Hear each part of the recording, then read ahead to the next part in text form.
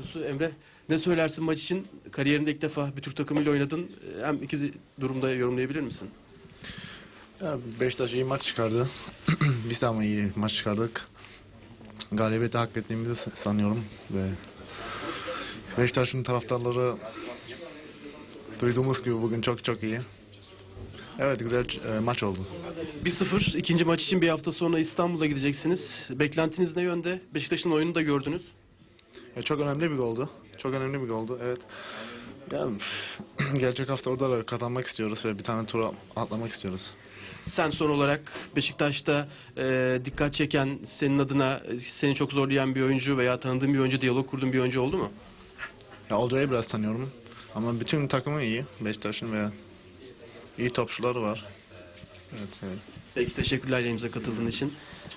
Söz yeniden İstanbul'a bırakalım.